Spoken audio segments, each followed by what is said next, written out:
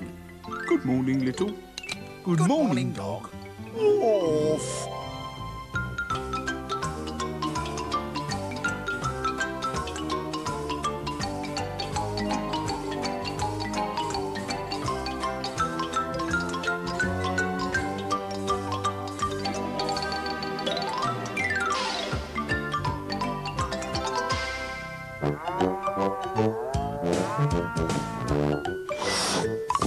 Children's BBC on a very warm Thursday afternoon, and in Dino Babies you can find out what happened to the Dino baby who ate too much. Not very nice. Oh, and more food now in play.